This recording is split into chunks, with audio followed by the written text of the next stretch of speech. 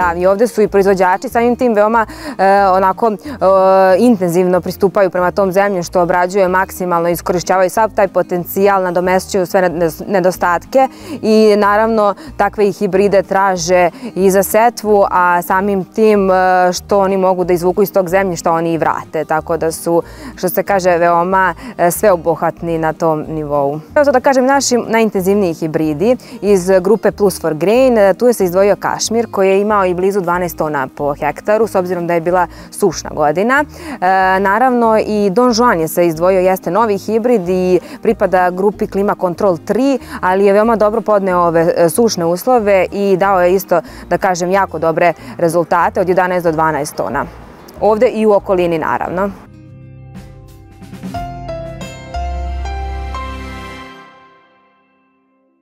Domaćin će svaki znati dobar savet se isplati sa novog portala Vreba Saveti sa agroneba. Posetite ovog trena i nestaće ta dilema. agrosaveti.rs Sajt koji nudi odgovore.